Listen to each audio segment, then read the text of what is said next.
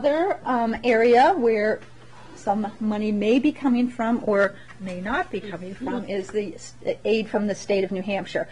Um, This is a graph that shows uh, the last 10 years of state aid to municipalities, and these are total dollars, not just Hampton's dollars, okay, but total dollars. Um, And this does not include the education funding, so it does not include what school districts get from the state. This is just the municipal portion. And so as you can see, in about 2009, is this thing, so 2009, it was about um, $150 million that was coming to municipalities. The green is what's called general funding. This was the highway block grant, and this was the um, water uh, grants from the Department of Environmental Services for water sewer projects. The big drop here was when the state was facing the recession in 2008, 2009. They started reducing the funding that was coming to municipalities. The big ones there were revenue sharing. Revenue sharing had been a program that provided $25 million. Um, It has a long history. It goes, it goes way back to when the state put in the business profits tax and started taxing businesses at the state level as opposed to businesses being uh, taxed locally um, before that period, and the idea was to share that revenue with municipalities. It had been about $25 million. It got suspended, and it has been suspended ever since. Uh, So that was a big chunk. The other big chunk of money that the state um, started eliminating was the pension contribution for teachers, police, and firefighters. The state was providing 35% of that, um, that pension cost for those three categories. So obviously, the police and fire are going to hit you, teachers are going to hit the school districts. Um, And that was gradually eliminated. Um, My estimate right now is that if the state was still paying for those, the teachers, police, and fire, that would be about $80 million a year um, is what they would be paying to local governments. So this just gives you sort of a picture, you know, how they say picture's worth a thousand words, well, a picture's worth a thousand numbers. So here's the picture of where we are there. Um, One of the things I wanted to explain is um, where are we with the highway funding uh, in the legislature? Because there was quite a bit of um, press about that when the governor first came out with her budget and uh, when the House came out with their budget. If you recall, uh, last year there was quite a bit of activity legislatively about what's called the gas tax. It's really a road toll, it's really a user fee, it's a tax on gasoline, and the more you use, the more you pay. It's, it's a user fee, um, but it does go by the term gas tax. Um, because of the conditions of roads, conditions of bridges in the state, conditions of the I-93 expansion between the Massachusetts border and um, Manchester, not having enough money to finish that construction, and the fact that our highway fund just wasn't generating enough money to cover all these needs, there was uh, a recognition that something had to happen. And last year, the gas tax was increased. Now, people involved, legislators involved in this knew that they probably needed to increase it by about 12 to 15 cents a gallon. Had not been increased in 20 years. They knew they had to go up by about 12 or 15 cents, but they passed a 4 cent increase. Okay? Basically, this is what they said that would do last year. It was going to raise about 33 million each year. And this money, this was going to go to local block grants starting in fiscal year 16. So that's the year that starts July 1st of 15. 4 million was going to go to municipalities. They were going to um, do the debt service on I-93. Um, they didn't need it right away because they had to bond it and then they've got to start paying it back. So that's why um, it kicked in a couple of years. State bridge aid municipal bridges, if you have a bridge, if, back here, back then, if you had a bridge that you needed to apply for state bridge aid, and state bridge aid is the state pays eighty percent, you, you come up with a twenty percent match, um, you had an eight to ten year wait. That's how long you would have uh, for, to get any funding from the state. That's how long their wait list was. Historically, they had only appropriated six point eight million dollars, enough to do you know, maybe eight, nine bridges, and there were uh, th- over 350 municipal bridges that are considered red-listed bridges. Okay? That doesn't include the state red-listed bridges. These are just municipally owned red-listed bridges. The commissioner at the Department of Transportation, the former commissioner, called it the measles map, the one that has all those red-listed municipal bridges, oh, he called it the measles maps, and he said that was what he lost sleep over at night, was those municipal red-listed bridges. So obviously, something needed to be done, so part of this four cent increase was going to double the amount of bridge aid with the idea of shrinking that wait list. So it wasn't a 10-year list, it would come down to something like a four or five-year list. Um, and then there was uh, these, this is all money going to the state to do their betterment programs on state roads. I kind of call them the connecting roads, those roads that, the state roads that connect all the towns, you know, that, obviously you know what the conditions of those are like. Um, so that's what that was for. So, this was what the statute says. Four cent increase, this is where it's going to go. So, that's what everybody expected.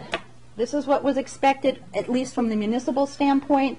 This is what the highway funding had been. There was the block grant, 12% of whatever comes into the highway fund from the gas tax and from motor vehicle fees, 12% goes to municipalities. And then there had been the bridge aid, so it had been 37 million. This 4 cent increase was going to give 4, 4 million more to that highway block grant and double the bridge aid, so 6.8. So it was going to be a total of 48.4 million. When the bill passed, which municipalities supported, that's what was expected. When the governor came out with her proposal, she said, okay, I can't cut anything, I can't cut any of this money because that's what the law said, that four cents, this is where it's going to go. So I'll just cut the underlying grant. So she cut the bridge aid. Okay? What did the House do in their budget? They said, well, we kind of we're kind of interested in what the governor did, so we'll not only accept her cutting the bridge aid, we'll reduce the highway block grant by four million. So again, they will tell you, they would say, we didn't cut the funding from the the four cent gas tax increase. You're still getting that funding, but they cut the underlying amounts. So what did that actually end up doing? There's what municipalities were getting before the gas tax went in last year There's what they were going to get with the House budget, basically the same numbers, which was really very discouraging for us because, again, municipalities had supported that because of the need and, and because of the promise that was there. But um, where are we right now? Um, yesterday, the Senate put back the $4 million for each year. So the Senate put back the $4 million. I don't know what they're going to do with the bridge aid. Um, they recognize that that is an issue. Um, there is still the issue that the four cents wasn't really sufficient to fund the state's highway fund and all those needs.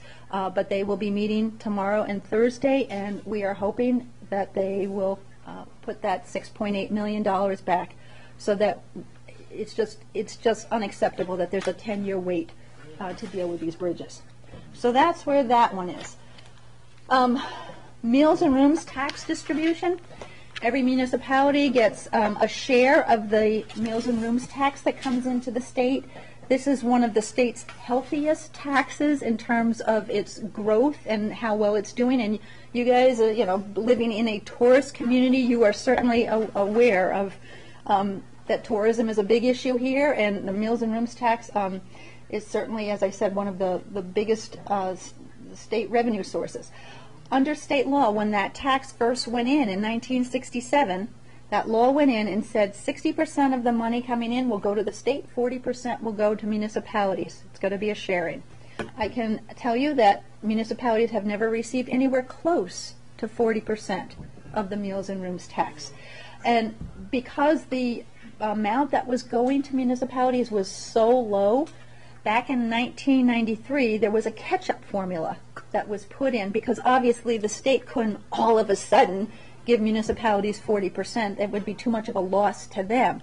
So what they did is they put a catch-up formula in and they said, okay, if the meals and rooms tax comes in higher one year than it did the previous year, 75% of that increase will go towards municipalities' distribution with a cap of 5 million. So never more than 5 million. So if the money came in 10 million more, it would be 75% would be 7.5 million, but we're going to cap it at 5. But if the money came in, let's say only a million higher, well, then 75% would be 750,000. So it was 75% of the increase, but never more than 5 million. And the idea was to gradually increase the, the proportion going to municipalities. Okay? So that catch-up formula was in for a number of years. It was doing what it was supposed to do until, again, that recession hit, and that was one of the things the state suspended, and they said, we're going to freeze it at 58.8 million uh, for a while. So that's what they did.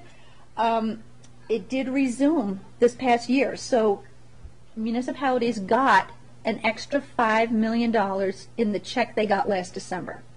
Okay? The- And I think for Hampton, it was about $60,000 more came in from the Meals and Rooms distribution because that catch-up formula kicked in again. Okay? Um, Here's just a graph showing you what's the percentage. Again, here's the 40%. You could see back in 2001, it was about 17, 18%. And it was doing what it was intended to do, that catch-up formula. It was gradually increasing until, boom, they suspended it. And not only did they suspend it, but they raised the rate at the same time. So the tax rate went from 8.5% to 9%. The state got a lot more money that year, and because the municipal piece had been frozen, the percentage kind of took a, a, a big dive. So right now, um, it's at about 25%. So, um, the governor, um, oh, and if it had not been suspended, again, my estimate would have been, rather than getting $63 million, sharing in $63 million last December, you would have been sharing in $76 million. Um, and over this period of time, when they suspended the catch-up formula, that was about $41 million that the state didn't provide to municipalities. Um, so where are we right now with that? Um, the governor suspended it for the first year in her budget. The House suspended it for both years. The Senate today um, put the catch-up formula back in for the second year of the biennium. Um, and again, as I said, what the real kicker with this is that the Meals and Rooms tax revenue is coming in really strong. It's about 15 million over where it was last year. So municipalities could get that $5 million and the state would still have another 10 million more than what they had planned. Um, but the state is having some challenges with their budget, so that's where that is. Um, I, I should have prefaced and say I don't really have a lot of good news for you with this with this part of it, but um, the state aid environmental grants, these are the, the grants for water and wastewater projects under current law. Um, the state is supposed to fund those at a 20% match. In some cases, it can be up to 30%. And they pay it back over the terms of the financing. So if you've taken out a bond and you're paying it back over 20 years, the intent is that the state is going to pay that 20% as you're making those debt payments going forward over 20 years. So they're not going to give you the whole 20% of the project up front. They're going to pay it to you as you're paying off your debt. Okay? Um, for a period from 2009 to 2013, they stopped approving any new grants. Um, and these projects were placed on what was called a delayed and deferred list, basically saying, you know, keep doing what you're doing, and someday we'll hopefully the state will give you the money. Um, there was a moratorium was placed on any new projects that, or at, placed on any projects that received local approval after December of 2008. So basically, what they were saying was, if if you, if municipalities went to their town meeting before December 2008 to, to approve these projects, and the voters understood there's going to be a 20% share of the state, will honor that. But if you know, December 2008, they started getting word out that, you know, the state doesn't have a lot of money here, so you, if you proceeded with any projects after that time, you did so at your own peril. So that's sort of the, where that December 2008 comes in. Um, in terms of the governor and the House and the Senate budget, they have uh, funded all those existing obligations, so anything that had already been receiving uh, payments and you're still on that sort of the tail to pay it off, those are funded, but they are not looking at granting any, any new projects since that um, December 2008. Um, And again, this is just a picture's worth a thousand words, so it shows, you know, what had been the level of funding, you know, about 17 million, 16, 17 million, and then when this moratorium went in, what they have to pay was dropping down, because again, as they're paid it off, as the debt payments are made, eventually some of the projects, they get paid off. So there's less and less and less they have to pay.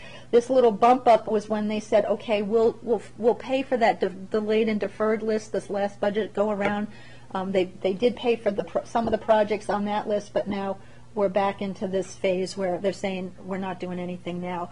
They did, um, both the House and Senate did pass a bill to set up a study committee to look at this program and determine if and how this should go forward. Should there be, you know, a change in the criteria for some of these projects? Um, Where, what should the funding source be? So it will be studied, and we'll see where that takes us. And finally, I did want to show you um, this. This is the um, what's happened to the local employer rates for pensions because of the fact that the state stopped making those contributions. So you, can see um, that was in about 2009. I think they started ratcheting it down. I mean, there, there clearly there are other reasons why the pension costs increase, but um, from your standpoint, one of the big reasons was the um, contribution towards police and fire. Hopefully, we have the red line is the fire and the blue line is the police. Sometimes I get those backwards, maybe wrong, the, the wrong colors for those. But um, yeah, so you know, pretty big increases here, and a- lot of that is because the state stopped those contributions. So, in terms of, you know, what can you expect um, from state aid? Right now, where that stands with the Senate is, um, is the highway block grant money is coming, that is supposed to be coming. Uh, We don't know where things are with that bridge aid, and they funded the um, additional money from the meals and rooms in the second year of the biennium. So that's what's kind of coming, coming back. In terms of those environmental grants, neither the House or Senate is looking at funding those. Um, And I think those are sort of the, the big issues. Revenue sharing, that 25 million in revenue sharing, it's still being suspended and nobody's talking about that coming back.